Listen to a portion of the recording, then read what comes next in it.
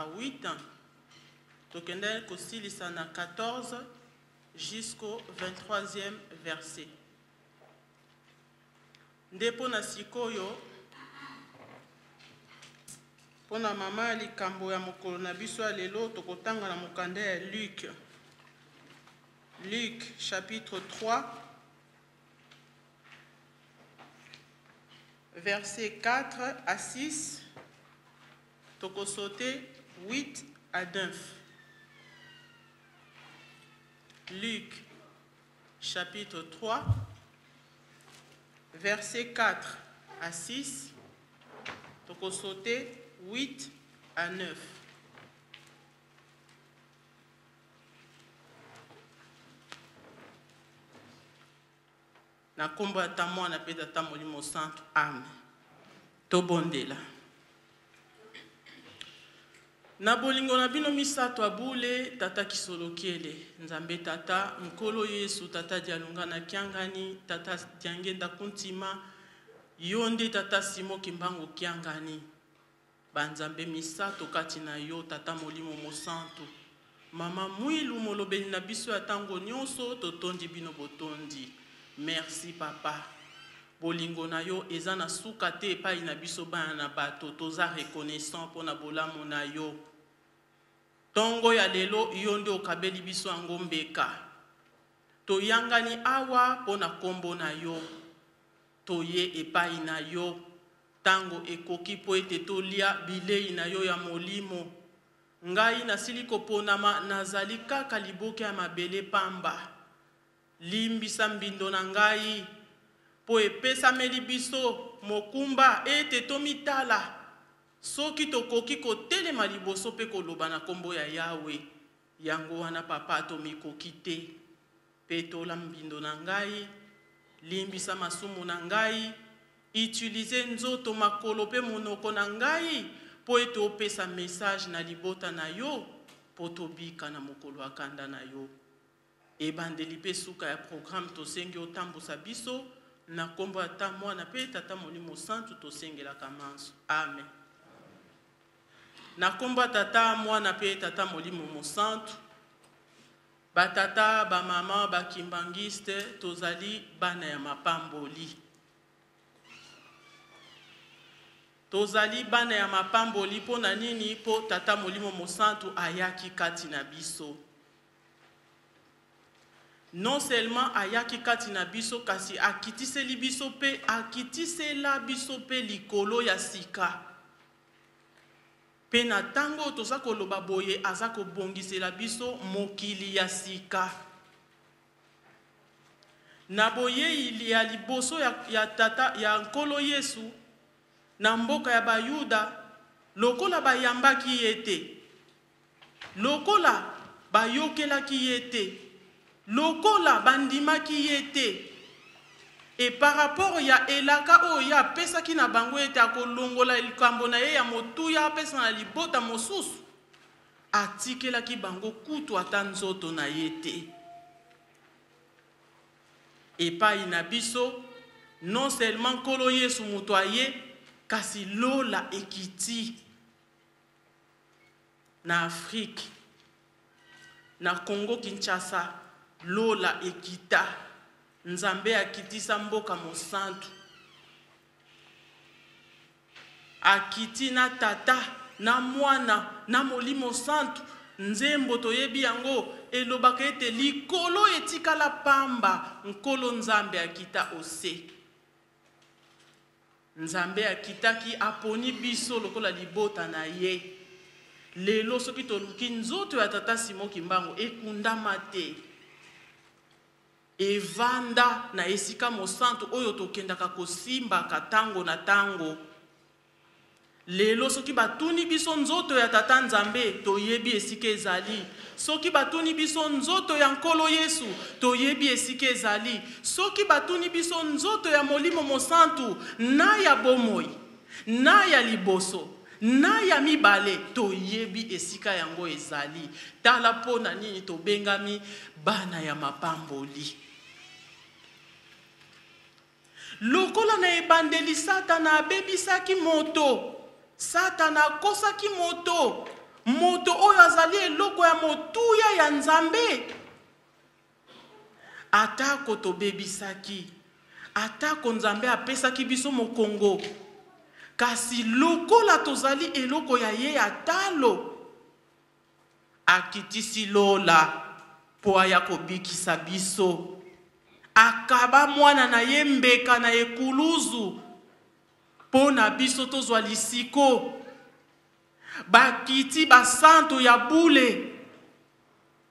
Nzambe amibongoli loboko na ye akomisi yango mwasi.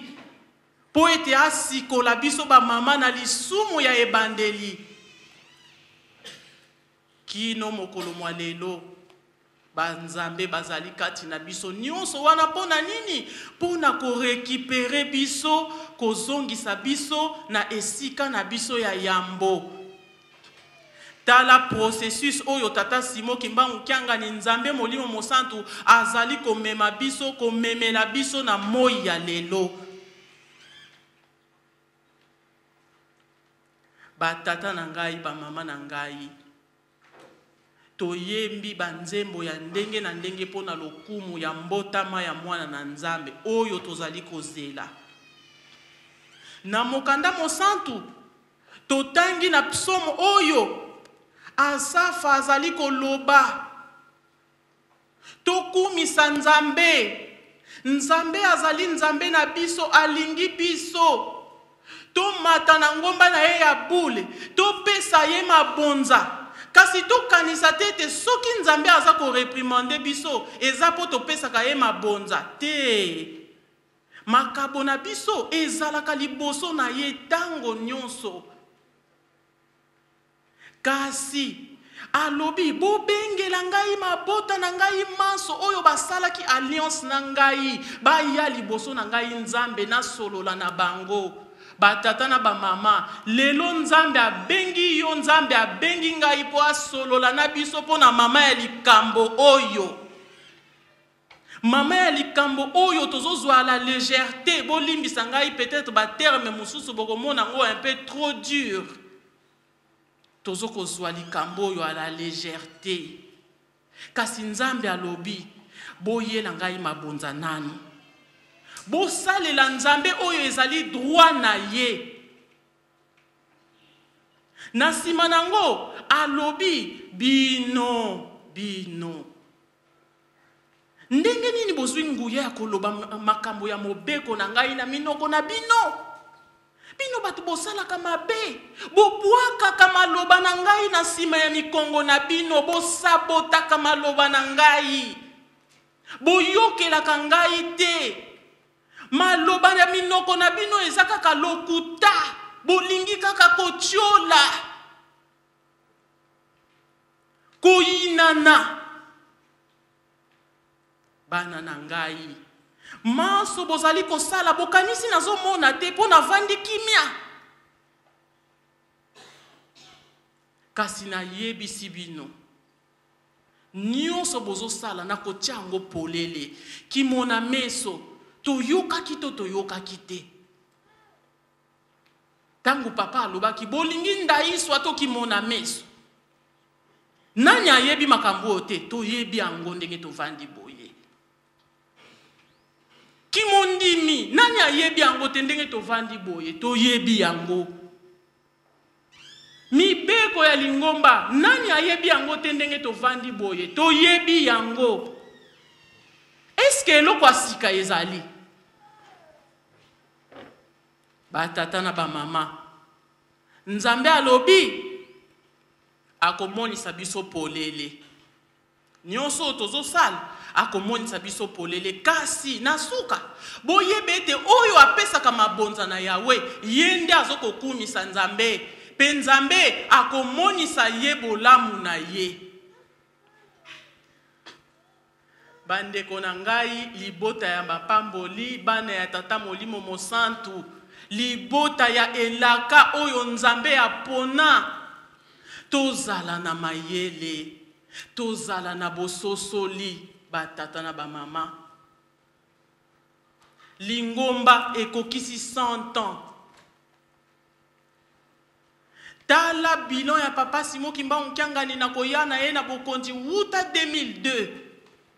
Si tokoti na ba etape ya ba centenaire, tolekisi ba centenaire, totongi musee, tobandi tokoti na etape ya ba 105 ans ya ba papa, 105 ans ya papa Kisolokiele, 105 ans ya papa Dialungana, 105 ans ya papa Diangenda Kuntima, yango oyo mama ya likambo.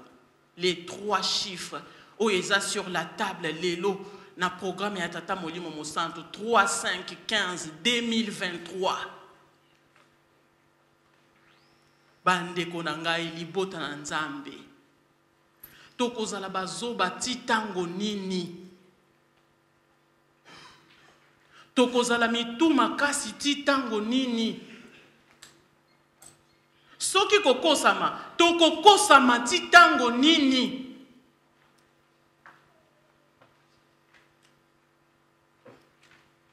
Tozwa mayele. Soki tokozwa mayele te, ekozala mpasi mpo na biso, batata na ngai, bamama na ngai. Nzambe lokola aza bolingo apesi biso mibeko. Alobi na biso bana na ngai likambo nayeli eza kowela bino kasi mpo nalonga kobikisa bino napesi bino ligne de conduite faut botambolela boye. Nani ayebi mokanda ya Exode 20 te? Nani ayebi mibeko oyo eza na kati ya Exode 20 te? Nani azobosana yango? Toyebi yango malamu. Mabe na malamu toyebi yango malamu. Oyo esongeli tosala, oyo esengeli tosala te, toyebi yango malamu. Kasi kino tango nini? Meme discours. Tata Molimo Mosantu, bana na ngai bozali bana ya mapamboli. Mutu azala mosika ya tata na ye te. Mutu azala mosika ya Nzambe te. Liboso tozokende, pasi eza koya. Kaka baoyo bakozala na se ya makolo ya Nzambe, bango nde bakomona bolamu, bango nde bakobika. Maloba oyo, nani ayebi yango te? Nani ayokaka yango te?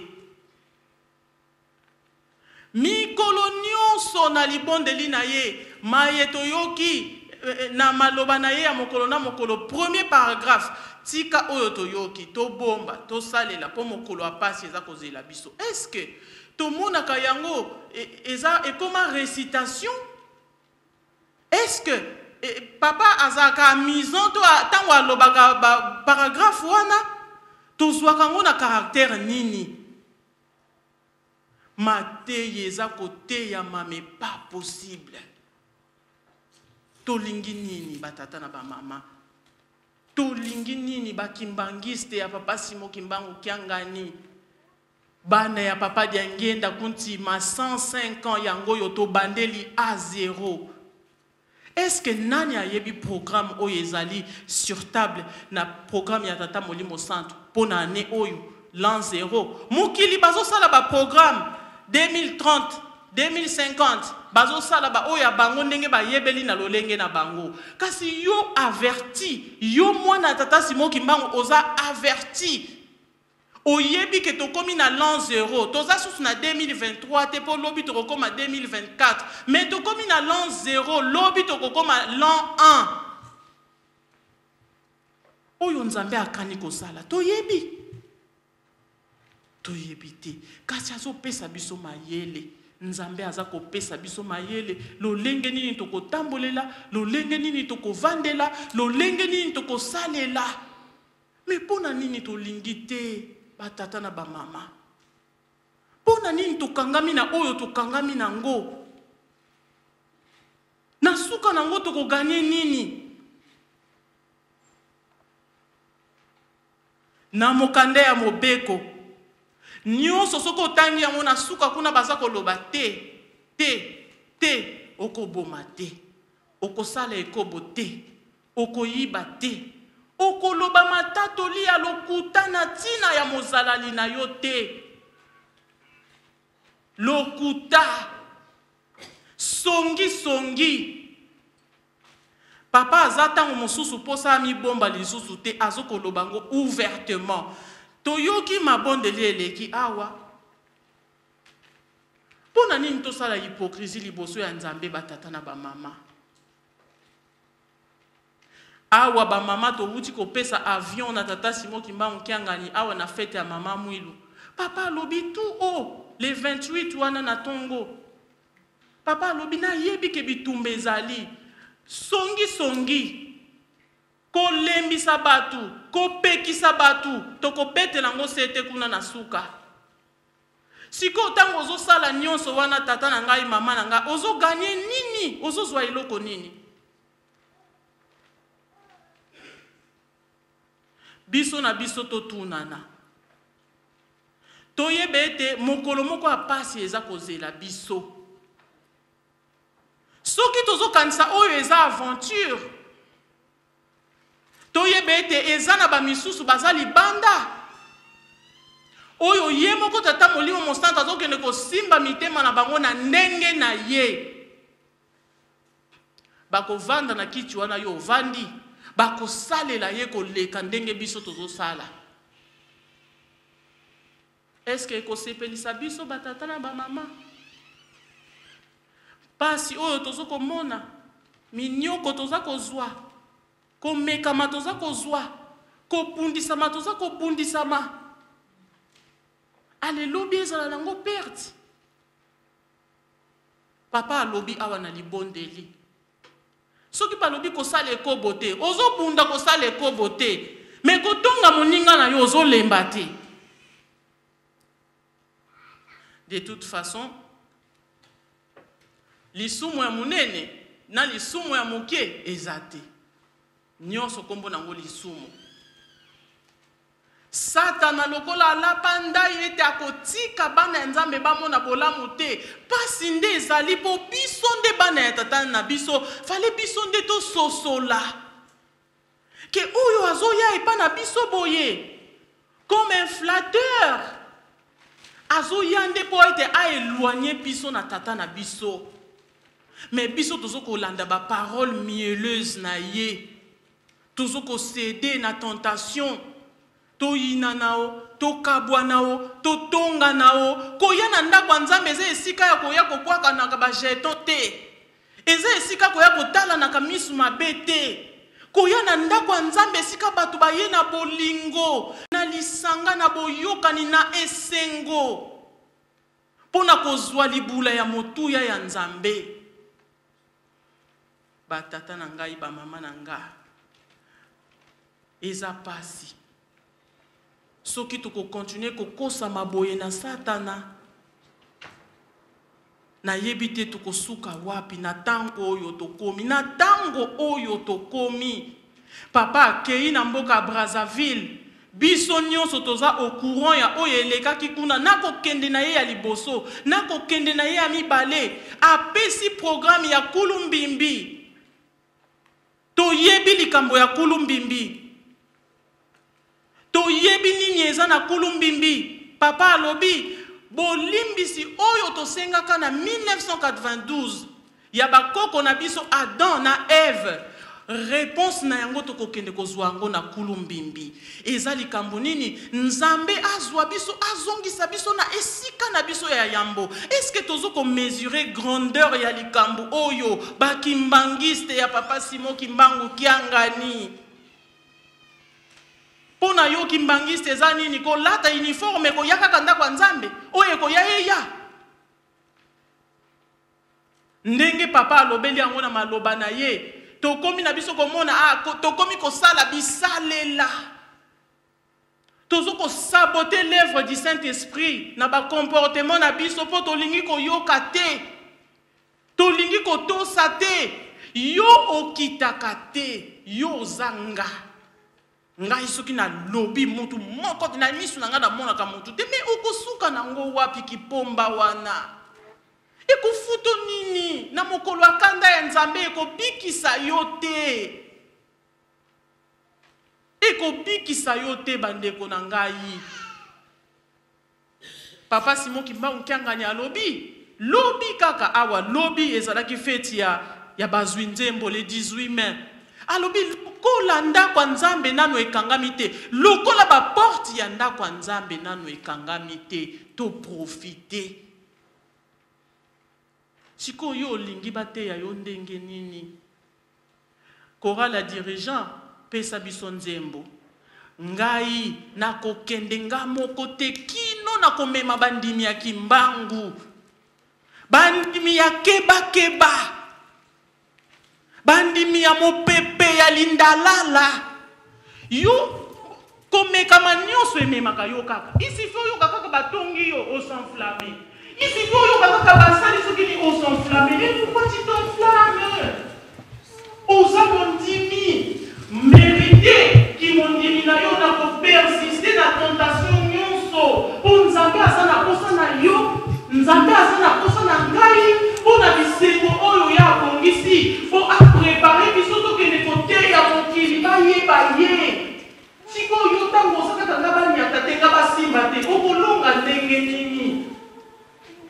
Awa satana si azui decision ya ko kende ye moko te soki amemi ba ndimi ya kimbangu te. Mutu nionso ayoka nzembo na matoyi na ye e interpele ye ozua position na kimondimi na yo tata, maman, jeune kimbanguiste.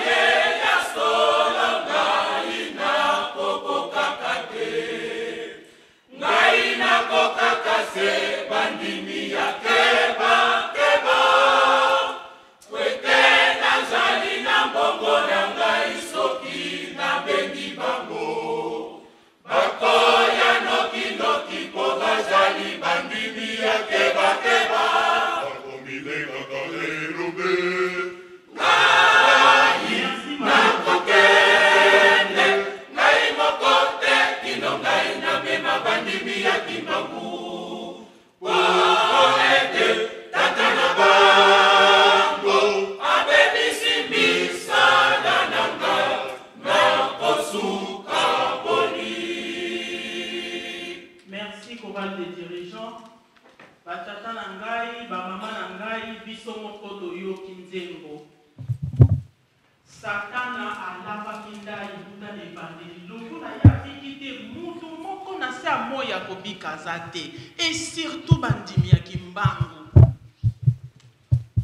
Lokola tata na bango abebisi misala na ngai, ngai natelengani, nakotika bango te.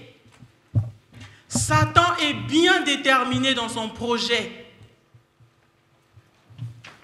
Et pendant que Satan aza bien déterminé, azo tia ba projet na ye en action, biso bandimi ya Kimbangu toza distrait. Moyen to simba oyo tata na biso azo kopesa eza te. Moyen to yokela ye eza te. Soki ba koti na ndako ya Nzambe na ko buakela bango pongi. Baza awa te bazo nimba. Na ko pesa bango masolo. Baza awa te bazo solola. Na ko lesa bango kindoki. Ba ndoki. Ba ndoki. Kindoki. Ba bundisi ya tata molimo santu. Baza awa te. Toza awa te. Tina tango oyo. Ba tata na ba mama. Hmm. tomata tokita nzambe balongaka ye te soki ozali mwana ya tata simo kimbangu mpenza ya solo soki oyebi eloko oyo oyaka kosala awa kanga miso na distraction ndima batonga yo Ndima batiola yo. Yo tosa Nzambe na yo. Yo tindama. Yo sala misala. Yo kokisa posa ya Nzambe na yo. Kotala ni gauche, ni droite. Koyoka ni gauche, ni droite. Nzambe atiaki biso matoyi mibale po soki eloko ekoti awa ya mabe elingisi yo bimisa awa ekende ezala na nguya likolo na yo te. Tomipesi biso moko, tofongoli baporte na banzoto na milimo na biso mpo Satana asakanela biso, mpo eloko nyonso okoyoka, olingi okota, olingi oloba, olingi osilika, olingi otomboka, bayoka ke yo mpe oza, yo mpe olobaka, yo mpe. Non. Satan alobi akolesa biso moyibi tokoma ba miyibi ba miyibi awa toza te mi kimoyibi na na manche nango nyonso bakopa mabe ah eza mpo na lar okozwila ngo vrai lar Eeh mokolo ya kufa na yo mokolo ya tata nzambe lar ekobikisa yo bandimi na ye ya solo akokaka bango te ye akokaka kaka bandimi akebakeba sikoyo yo mituna nga na mituna naza mondimi ya solo to naza mondimi akebakeba Nzambe azotonga mokili ya sika. Est-ce que ngai mpe akotinda ngai na kokende mpe kosakola na kombo ya ta Molimo Santu? Papa alobi na Brazzaville bakomi kosenga ye bato, akobanda kotinda. Soki oke koyokisa soni kuna, etali yo. Ya solo penza ba tata na ngai, ba mama na nga, tala mituna oyo tokokende nango lelo. Alobi akobwakela biso ekobo. Ekobo. Ekobo na mboka oyo eza mobeko te. Ah, ba tata na ba mama. Mama na ngai ateyaki ngai alobi mwana na ngai. Nzambe satana po azwa mutu abwakelaka ye biloko mibale. Eloko ya liboso ekobo. Soki kaka o livrer nzoto na yo na ekobo, esili, elembo ya Nzambe elongwe, Molimo Mosantu elongwe kati na yo, okomi na yo porte ouverte. Soki oza kobunda kolonga na ekobo kino mokolo ya libala, ezala mwasi, ezala ya mobali, Satana abwakaka molimo ya kanda, excès de colère. donc yo penza donc moye eza te batata na bamama tosala keba tozali libota ya nzambe tozali libota ya mapamboli tozali libota ya elaka biso nde tokokende koteya sango ya nzambe na mokili il faut tozala prepare en tout et pour tout mpo to remplir mission na biso comme il se doit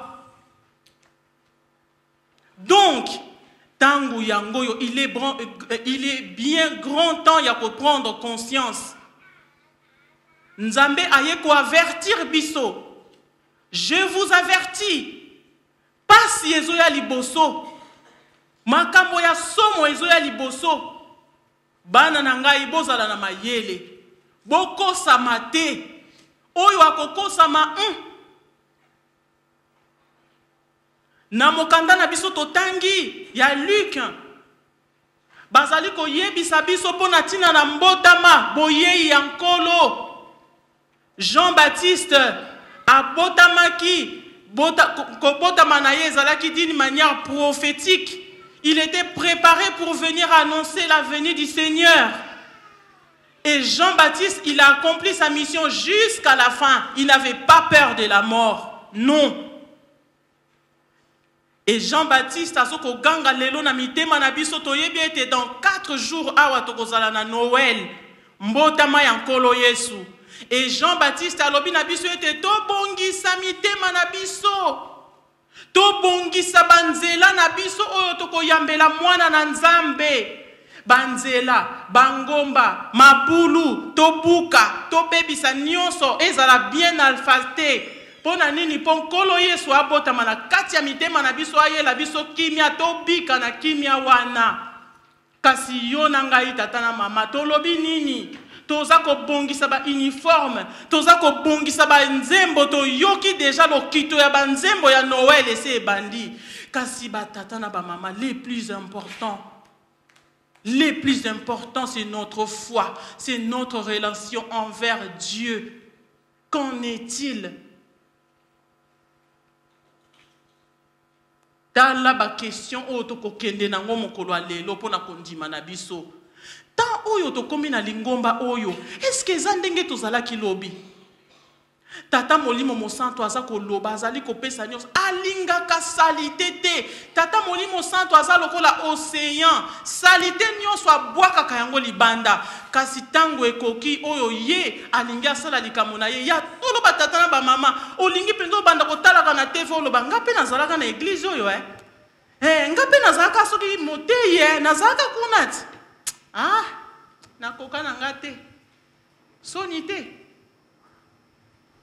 soni te na lokito tala ampleur oyo eglise kimbanguiste ekomi nango meme bato ya politike bakomi koya kotemoigne bonzambe ya tata simo kimbangu kiangani yo na ngai toza wapi noel noel noel mais après par rapport à notre foi par rapport à nos comportements Qu'est-ce que nous avons décidé Les jeunes, les jeunes de Papa Simon Kimbangu Kiangani, qu'en est-il de vous L'espoir des Papa Simon Kimbangu Kiangani, les jeunes kimbanguistes, qu'en dites-vous Papa alobi na maloba na ye, Soki baboti bazoteya biso ba jeune eke toyoki te soki likambo ya likambo mokolo ya likambo ekoki eke yo mwana otosaki te obiki te eke moboti ateyaki yo yo oboyaki kotosa moboti abiki soki yo moboti oke kolelela mwana na yo na yo na mwana na yo bino nyonso punition ndenge moko Tozo mona gravite ya likambo ba tata na ba mama. Avertissement. Papa na chorale ya jeteki bo pesa biso nzembo wana ya suka po to clore mateyi na biso. Tolinga tolinga te Nzambe akotikala Nzambe. Awa yo moni okoki osala oyo yo olingi sala na yo. Kotiola batu kaka yo ko distraire ba ndimi ya ngania nzambe kaka yo kasi yeba ka nionso ozo sala na mukanda ya psaume nzambe alobi nazo tala yo na ko expose yo kingo na meso kasi na yo oyo omemeli ngai ko kosama te. Tokosama te ba tata na ba mama tokangama na nzambe mibeko bolingo misala et surtout pona likambo ya misala ba tata na ba mama papa pesa biso nzembo s'il vous plait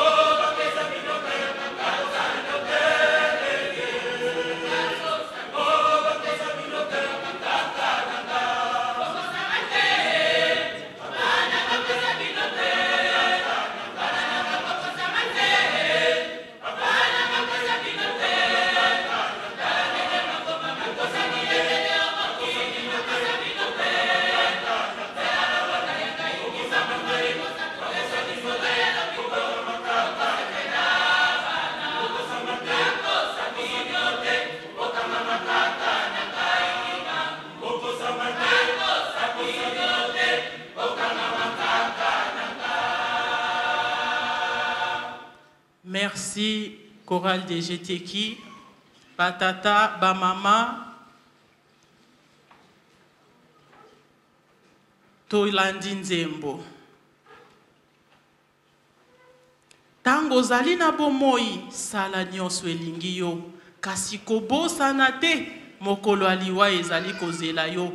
Wana tokokutana, yeba ete tokotunana mpe tokomonana miso na miso na mokolo ya suka. Ntango wana okoyeba, ngai Kimbangu nazali moto to Nzambe, Molimo Mosantu. Finga, tiola, kolemba te, kasi yeba tokokutana. Ba tata na ba mama, eloko tokokende na yango na matei, Nzambe aza komona biso. Atie nionso en oeuvre mpo na bien etre na biso. Alingi avandisa biso na kiti ya bokonzi. Kasi a enumerer ba mabe na biso nionso oyo tozo salaka. Mpe alakisi biso ete azomona ata avandi kimia, ayebi azomona. Alobi na biso ete toyela ye mbeka mpo eza droit na ye. Tozali kobongisa Noele. Tozali kobongisa ba uniforme. Soki kutu balobi kolata yango te, lata uniforme ya groupe to soki ya chorale, omoni neti bakati yo. Ekomi kobima mayebo kutu mokie.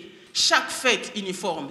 Chaque fete uniforme likambo te kasi oyo eleki motuya mitema na biso papa dialungana kiangani oyo tozali kozela mbotama na ye nkolo yesu alobi bavelela muntima kiesekwa bavelela muntima kadisi bamona nzambi soki toza bandimi po tolingaka tomona nzambe tobika Tozobongisa boyei na ye na lolenge nini? Tata Simon Kimbangu Kiangani aye kobetela biso sete lelo ete ntango ba porte ya ndako ya Nzambe nano ekangami te, towelela kosala mosala ya Tata Nzambe na solo. Ndenge lelo tozali na misala ya ntintsani mpo na botongi paroisse na biso, topesameli misala ya ko renouveler eh, ko renover pardon misala ya mausolée résidence na biso ya paroisse ya saint denis na nkamba mokolo namonaki résidence wana na televizio natikalaki monoko polele Nayokaki somo na soni, nalobi, Eh! Ndako ya boye ezotongama na nkamba, e soki ngai napesi te, soki ngai natie te, mokolo bakoya kofongola ndako oyo, ntango bato bakobanda kosepela, ngai mpe nakosepela. Masolo ya mabe bopesa te bakolakisa nini eh kutu eh boye na boye papa aza na bino na miso misala wana bozosalaka na kati ya bandimi na ye kopesa songisongi kobundisa bato kowelanisa bandimi mpo discordance ezala mpo towumela na distraction mpo tozangela batata na bamama tozala mayele tokosama te Tozala mayele, tokosama te. Totosa Tata Nzambe na mibeko. Totosa Nkolo Yesu na bolingo. Totosa Tata Molimo Mosantu na misala na ye ya botongi Yeluselemi. Alobi ete esika tozokende likambo ekozala, epe kutu likambo yango eza lisusu mosika te. Oyo mosika biso tozalaki kokanisa eza susu mosika te. Mobembo ya kulumbimbi mikolo nionso na maloba na ye faut asenga nzembo ya Mbanza Kongo. Toyebi te soki faki na biso awa deja bayebi yango toyebi te. Mais mikolo nionso na chorale ya Jeteki, na chorale ya na groupe ya faki papa il faut asenga nzembo wana. Tala ndenge azo lakisa expression moko ya esengo nzambe azo komona esengo eza koya sikoyo yo na ngai ba tata na ba mama tolobi nini tika ete matei oyo ezala sujet ya réflexion une réflexion mais vraiment mais vraiment profonde pour le salut de nos âmes parce que c'est pour bientôt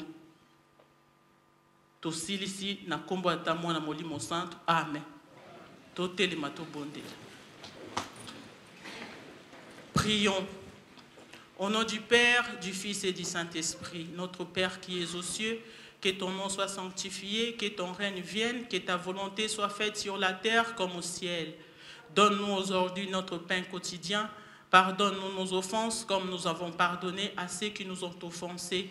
Ne nous soumets pas en la tentation, mais délivre-nous du malin, car c'est à toi qu'appartient le règne, la puissance et la gloire au siècle de siècle. Au nom du Père, du Fils et du Saint-Esprit. Amen. Amen.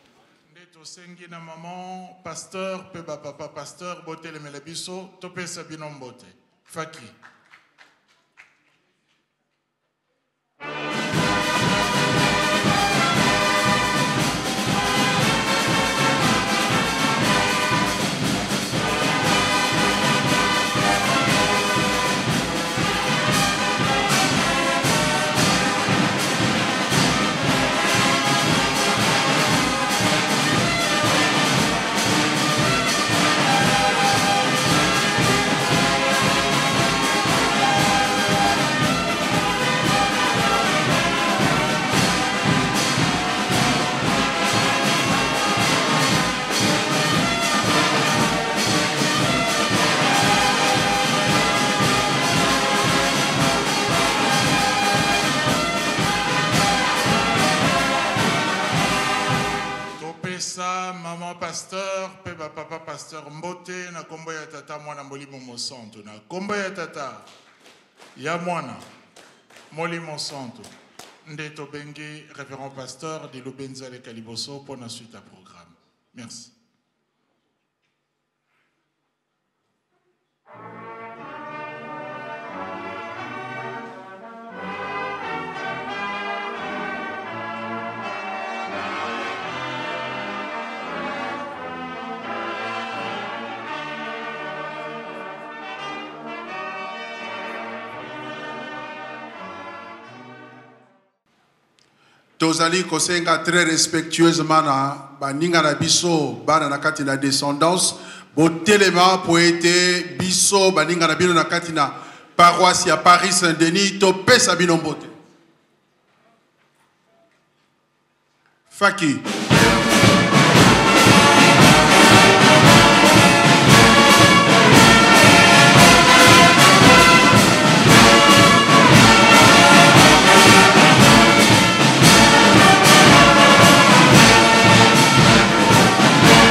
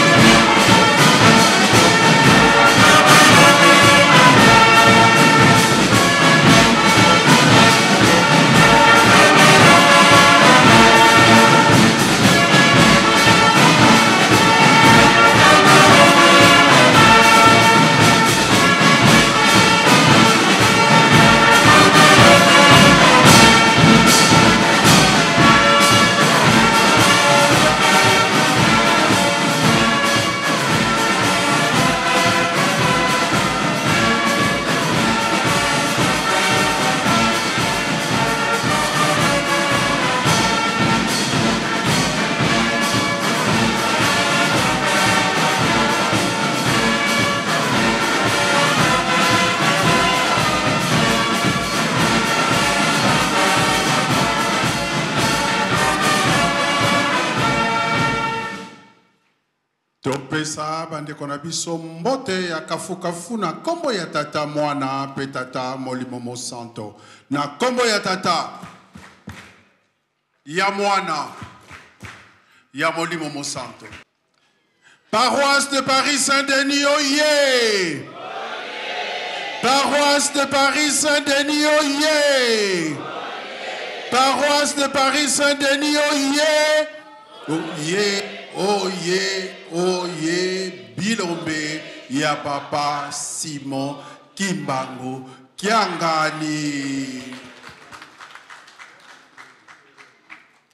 nalingi vraiment tozala concentre biso nyonso mpo ete mikolo elekaki mama efale azala na biso me emonanaki te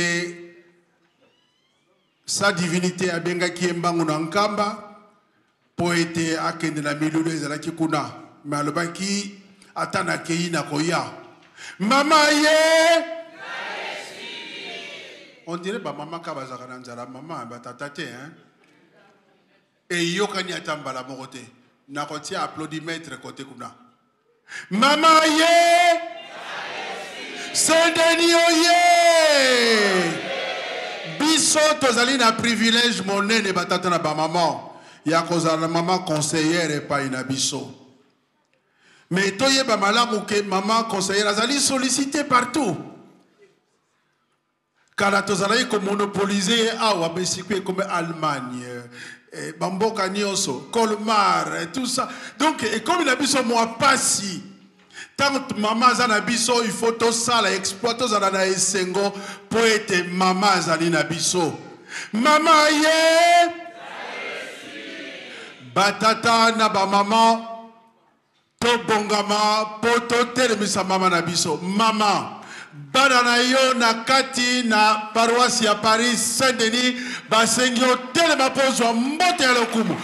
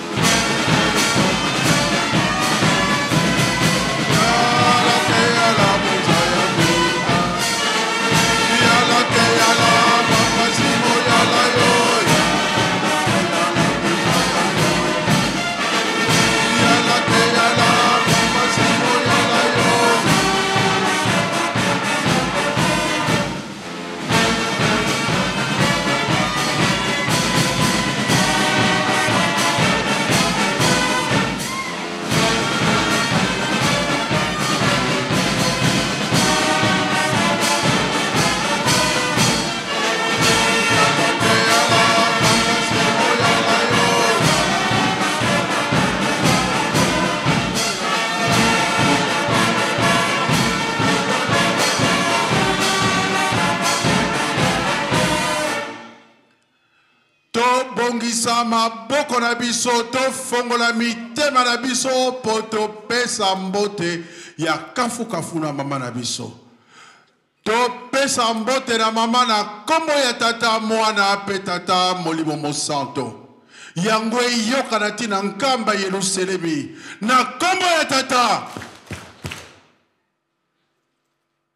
ya mwana ya molimo mosanto mama akozala kaka ya kotelema mpo na kozwa mbote ya lokumu ya sa divinite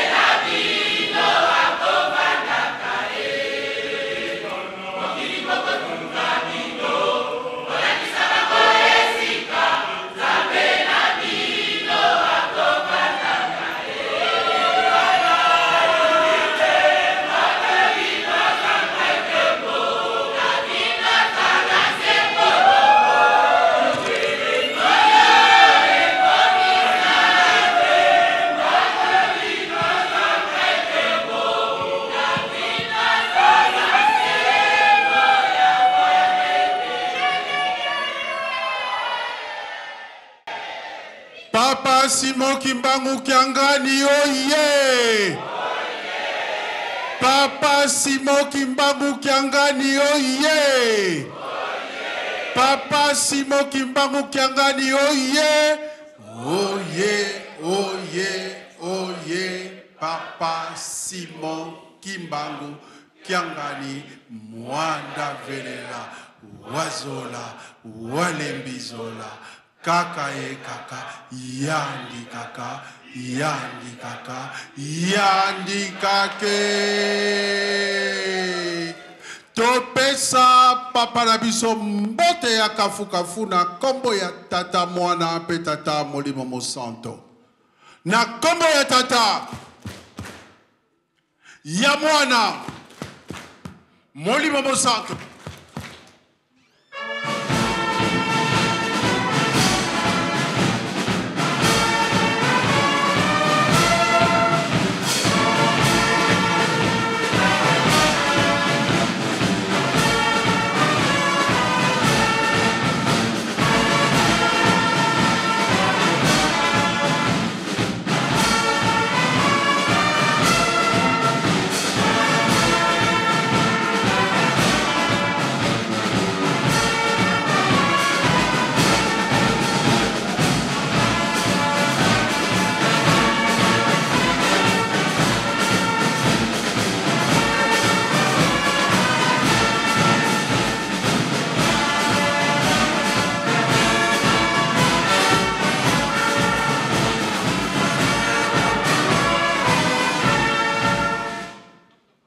tozala kimia mpo ete toyoka exhortation oyo mama na biso akopesa biso mama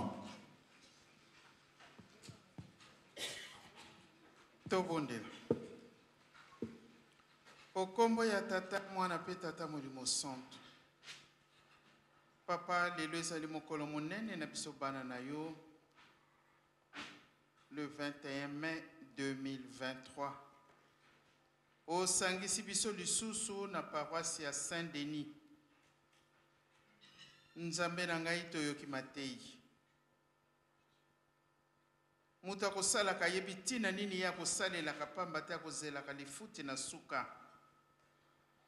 Papa, totondi yo, tokumisi yo na nyonso osaleli biso butu mobimba.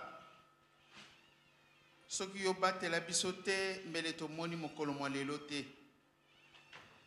Kanisela bana no bazongisi milimo, kanisela baye baza na bopito na ba prison, biso pe kanisela biso po tomeli ba kisi tozui ba tonga malgre ba pasi na biso ya nzoto pe ya molimo mais tomoni ete tika toya po ete to recharger ba batterie na biso spirituel. Papa merci yaka kosoana biso banso. Pamba te bipai towuti eza mosika. Tosi tokotaki na zone de turbulence. Bipai tozali kokende mpo avion yango ya atterrir ezali na yango mosika te. Kasi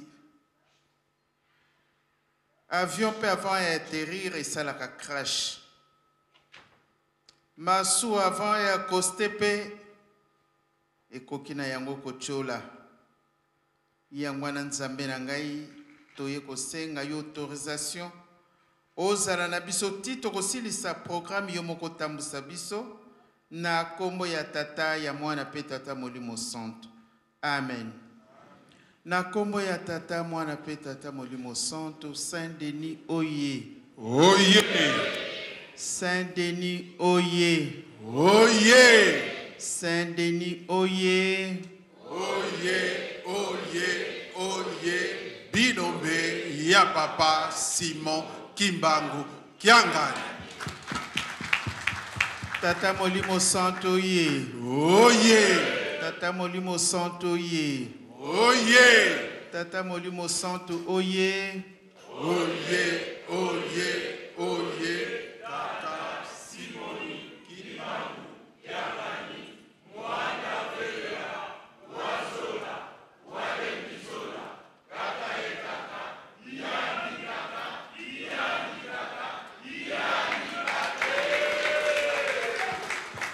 batata mpe bamama maloba ezali mingi te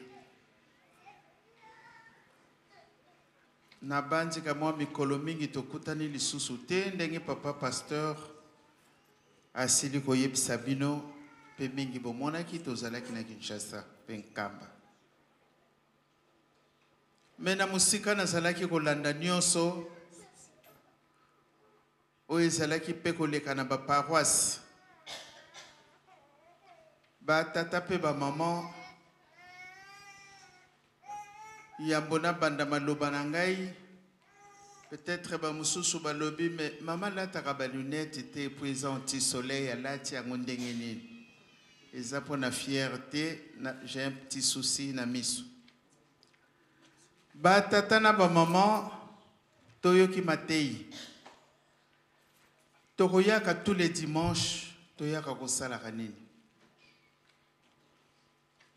Moko moko ayebi but na ye oyo ekomemaka ye na ndako oyo tobengi ndako ya Nzambe. Biso toyebi Nzambe azali nani. Malgre mokili ezali koseka, kotiola, mais kala te mokili ekoyeba Na bandisi ba bandi ko sosola muke muke bongo yokolo likambo olobi nini? Yokolo likambo comportement na yo ezali ndenge nini vis à vis na Nzambe na yo? Soki olingi Nzambe na yo ndenge to kozalaka na ba parents kati na ndako Tata nionso na ndako atiaka ba instructions oyo ye apesaka na bana na ye. Maman la meme chose. Mais soki olingi ba parents na yo mingi, okotosa maye bazali kosenga yo.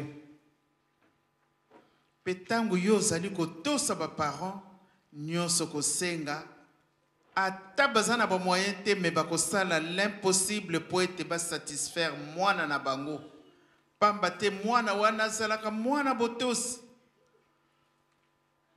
Otindi asali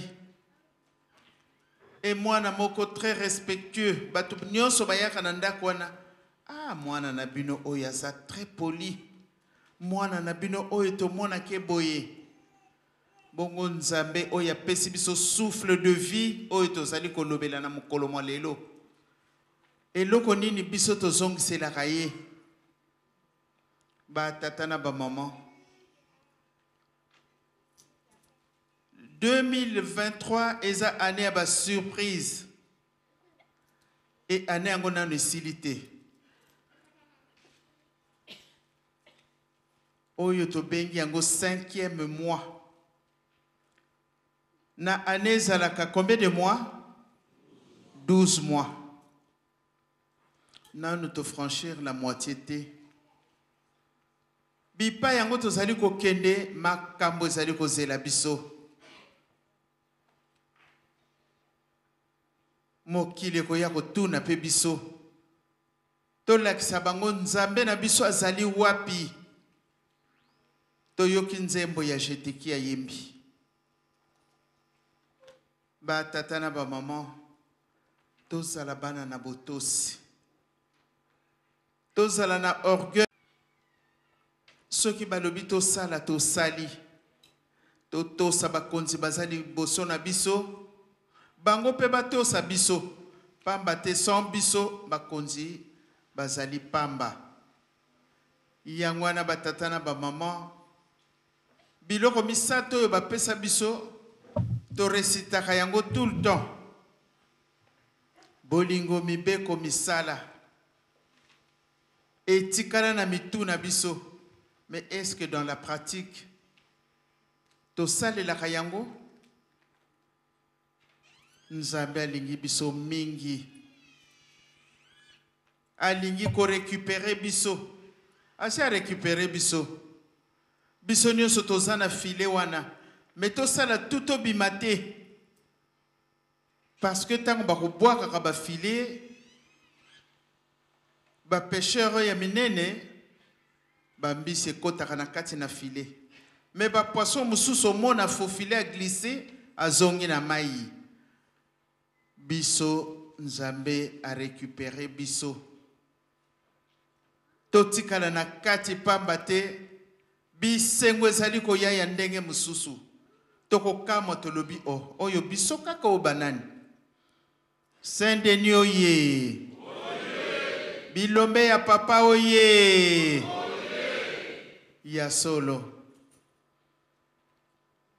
Nabwakaki lisu na mosika parce que vraiment nazwaki mpenza temps te. Papa azalaki na Brazzaville ndenge boyebeli nga nazalaki na papa Mbenza na Nkamba musala pe ezalaki ka mwa mingi mais de loin namonaki ndako ya solo ekomi très avancé ekosila to ekosila te tokopesa fungola ane oyo bien tokopesa te tokopesa Tosilisa. Tosala noki. Plus tokosala makambo na biso noki, plus bilaka mpe ekoya noki. Pamba te, tokoyamba mokili mobimba. Tondimaka yango te, mais ekosalema. Tobanga na biso te. Tozala kaka makasi na mabondeli. Na ba ndako esika toyali ba soiree pe tozangisaka te oyo tokoki. Ba cultes matinaux ezali tozangisaka te. Oyo nionso elobama ekoleka te ekosalema dirigeant. Ekoleka te.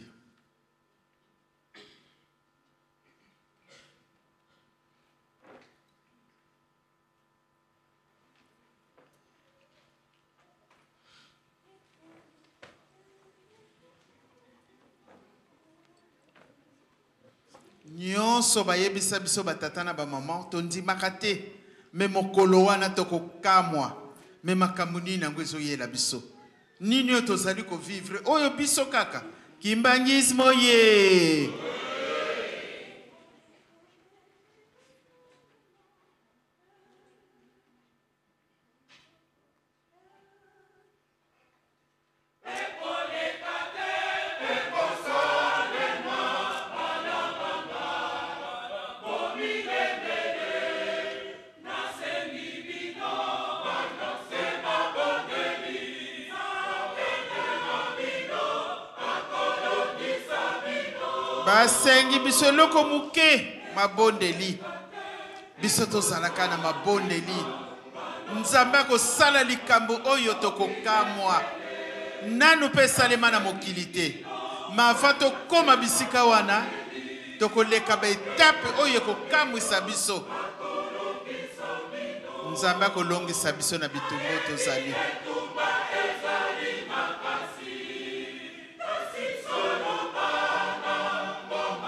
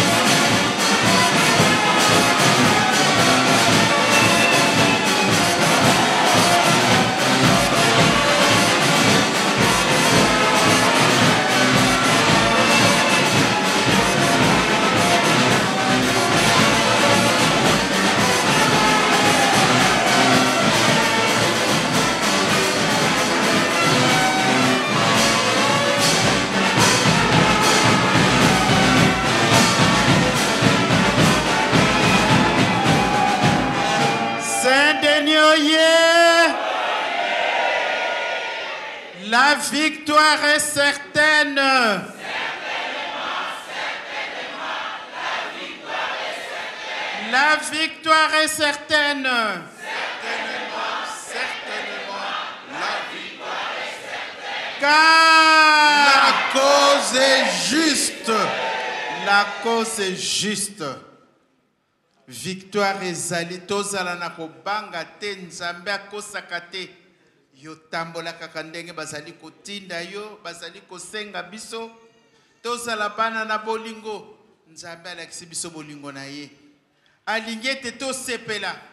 Aponi yo na nga. Bato bazali ebele kati na mokili, mais baponi yo na ngai.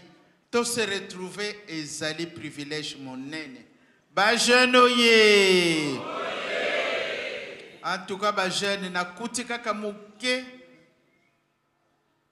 Oyo mwana na biso azalaki koloba ya faki merci bozwa relève parce que toyebi kaka bipai towuti bino moko bolobi yango lelo bino bozali wana mpo na koepole koepole biso baparent na bino e le chef spirituel bino bozali bana bobotami na mboka oyo Ndenge Papa Jason asilaki koloba,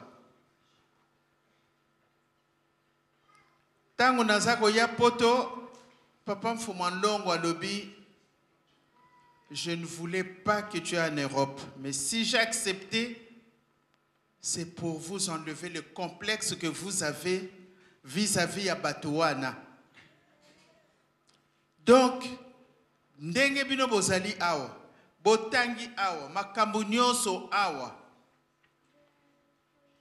bosalela biso ba projet oyo bozali na yango oyo biso ba parent tokokaki te bino bokokisa yango mpo ete lingomba ekende liboso mokili yango ekoya kobaluka totala kaka bipai tozali kokende Ba jeune oye. Faki oye. Le 6 juin oye. Aïe aïe aïe aïe. J'étais qui oye. Torotala bino na nsinsani. Koreki oyee! Eske tomibongisi mpo na lelo? Bamama oyee! Dirigeant oyee! Tokolonga to tokolonga te. Fluki wo! En tout cas Fluki na leli bino mabe penza. Ah! Non. Fluki na monaka bango kaka bongo na bongo. Mais ba surprendre nga na Colmar non. Nzoka bana na tomonaka baza na makambo eh. Baza pe na ba mbongo baza wana. Fliki wo. Ndako na biso ekosila to ekosila te. Pied gauche. Tango boleka na défilé tala groupe. Soki ntinsani ebandi bato bakomi ya kokonte. Ah. Ndako ya papa ekosila to ekosila te? Ekosila. Année oyo tokopesa clé. CPK oye. Petit mais costaud. Ah non. Bato oyo baza bato ya ndenge mosusu. C'est la qualité qui compte. Hein? Aïe, aïe, aïe, aïe, aïe, aïe. Apaki oye. Oye. Ah. Ah, Paki. Osi bozwi mpe mutu kuna. Tokoloba na biso te mama merci beaucoup. Bomemelaka biso bongo bazala ata 15. Ekozala esengo mingi mpenza. Ah! Kaka biso na biso to changer pe nano ko. Saint-Denis oye! Ayi, bana mapamboli oye! Oye! Bana misala oye! Oye! La fois passée nayelaki awa, tosalaki talo boni? Plus de 40.000. Bongo lelo. Lelo 50 hein. 50.000 ti likolo toyokani hein. Me ndenge bateyi biso nie nie. Omeli mai zonga. Toko kopekisa te. Obimi muke bozongi. exemple pe soki ya kitoko balandaka yango nga nabima kaka naki obeta masolo o oh, kasi bapapa baza kuna te banda tolobaki na nkombo ya tata mwana mpe molimo santo bango si bavandaki banda bavandaki baza kotala biso Biso soki okeyi omeli kisi soki nini oye kozonga na kati toyokani hein? 50000 ti likolo faki oye 50000 ekokoka to ekokoka te fliki wo ekokoka to ekokoka te ekokoka hein? ah j'ai l'espoir oyo bateyi biso tobomba mpe tosalela Mpo ete tozwa kobikisama, bakokisela biso bilaka yango, bawumisa te, toza kolela butu moyi, mais ndenge nalobi ça depend de nous, biso totambola kaka malamu, peut-etre pas à 100 pourcent, meme à 65 pourcent totambola malamu, Mpo ete bakokisela biso bilaka, biso bana na bango, tosepela na nkombo ya Tata, Mwana, mpe Tata Molimo Santu. Amen. Amen. Toyamba exhortation ya maman na nkombo ya Tata, Mwana, mpe Tata Molimo Mosanto. Na nkombo ya Tata.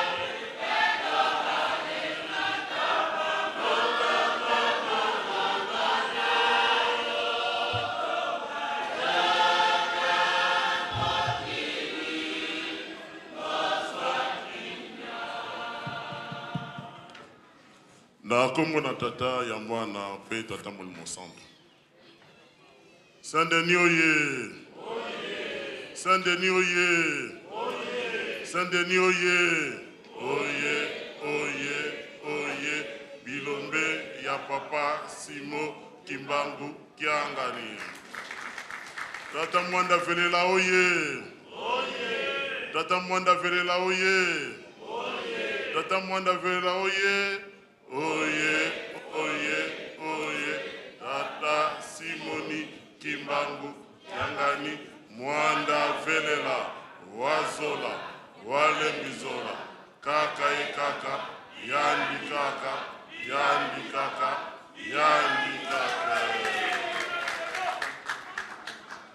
Toza na maloba ya koloba mingi te, maloba tozalaki na yango topesi yango à travers ya nzembo.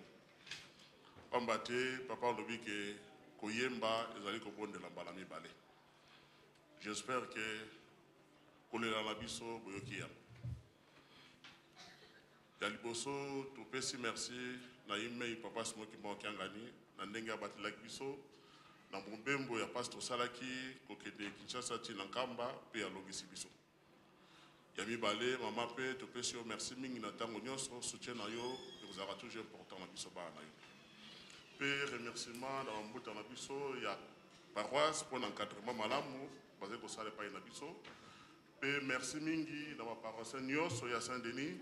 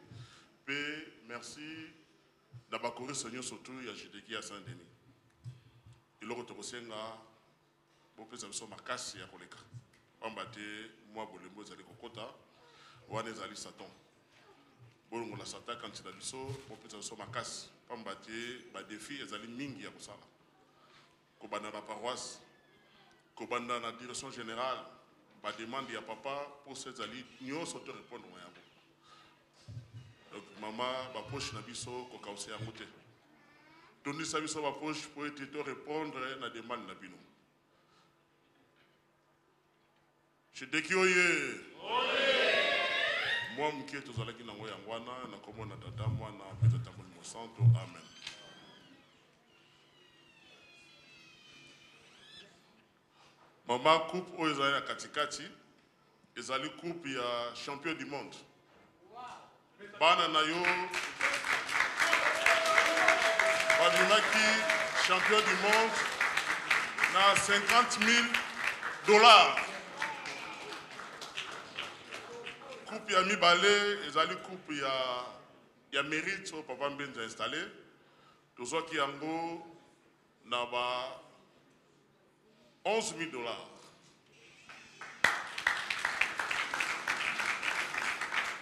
Oyo ya suka ezali ya ba 10 dollars.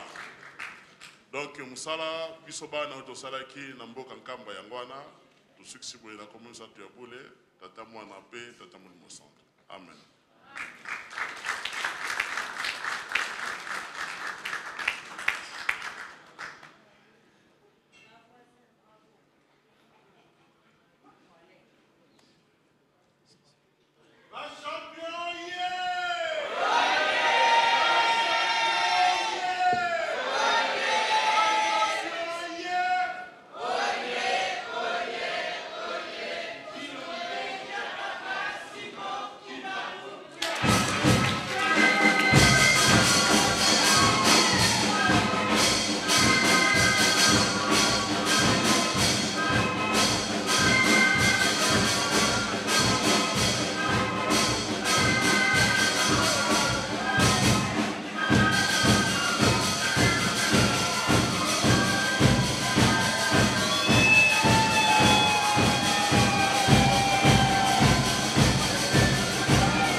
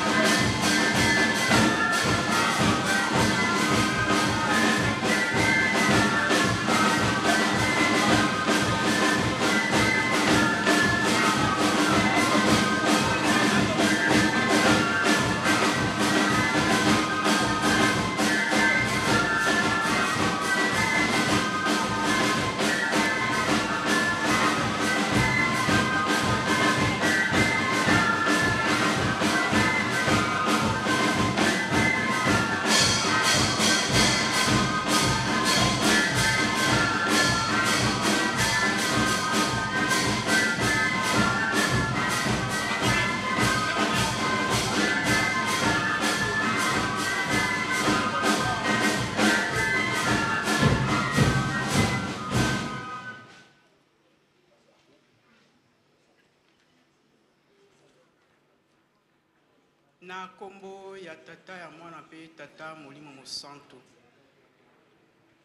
mama ndenge ozali komona biso ba mama afki na kati na paroisse ya saint denis na kanisi ba ndeko na dirigent na jeteki pardon ba uti koleka nzembo oyo ba yembi manso ezali na kati Yango ozali komona biso toye liboso na yo mpo na kolakisa yo bakupe oyo na misala oyo ezali kosengama ntango nyonso tu na kati na lingomba na kati na paroisse ya solo bikateli ekomi bakabaka eloko tozali kosenga mama baposhe na biso ekauka te Pamba te, tango Tata Molimo Mosantu azali kosenga mpo ete tozala na yango, tokoka kopesa mpe kosala misala ndenge ye azali kosengela biso.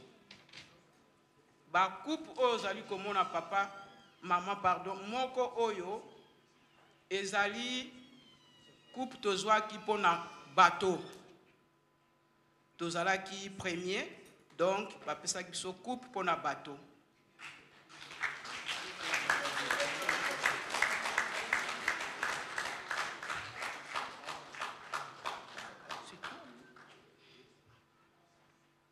Coupe ya mibale wana ezali pona ba cadeau pe ba 10 dollars.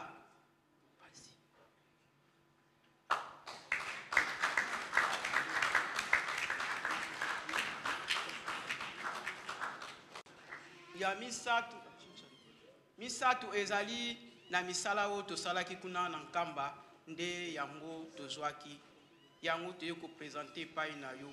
Tosengi kaka makasi, makasi, makasi na mosala. Maboko na biso ekauka te, ba poches ekauka te, ba nzoto na biso ebela te pamba te nzoto ekobelaka ekosalaka te. Tala ba mama na yo ebele posa pe batonga kasi mingi bazali awa misala ezali te, mikanda ezali te yango tozosenga tango nionso tu kanisela biso. Yo ozali Molobeli, sengelaka biso kuna epai Ye, Tata, mpo ete Akokisela biso oyo toza na yango mposa. Mingi ya koloba ezali te, nde yango toye kosenga na nkombo ya Tata, Mwana mpe Tata Molimo Mosantu. Amen.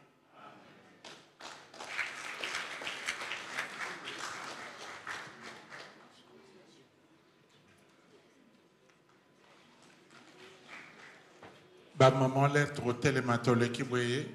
Totiki ba nkailua nkenda mbala moko tozongi na bisika na biso. Merci Fluki. Na défilé. Fluki. Oh yeah.